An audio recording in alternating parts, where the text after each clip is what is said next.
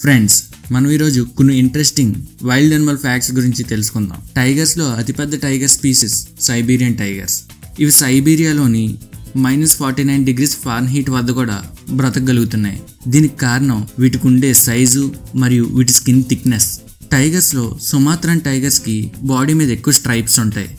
అలాగే తక్కువ స్ట్రైప్స్ ఉండే టైగర్స్ సైబీరియన్ టైగర్స్ ఒక చీత అదేనండి చిరుతపులి. గంటకి డెబ్బై ఆరు కిలోమీటర్ల వేగంతో పరిగెట్టగలదు. అంటే forty six miles per hour. సింహాలు అనేవి రెండేళ్ళు వచ్చేంత వరకు గర్జించలేవు. ఏ రెండు సింహాలకు కూడా మీసాల ప్యాటర్న్ ఒకేలాగా ఉండదు. లైన్స్లో most efficient hunters female lions. అదేనండి శివంగులు. ఏ రెండు జీబ్రాలు తీసుకున్నా వాటి స్ట్రైప్స్ ఒకేలాగా ఉండవు. మన ఫింగర్ ప్రింట్స్ లాగా. సముద్రపు వాళ్ళైన క్యామెల్స్కి త్రీ ఐలిట్స్ ఉంటాయి.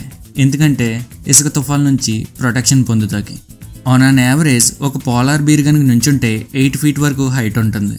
పోలార్ బీర్స్ అనేవి స్విమ్ చేయాలని ఫిక్స్ అవుతే సిక్స్టీ మైల్స్ వరకు ఆగకుండా స్విమ్ చేయగలవు.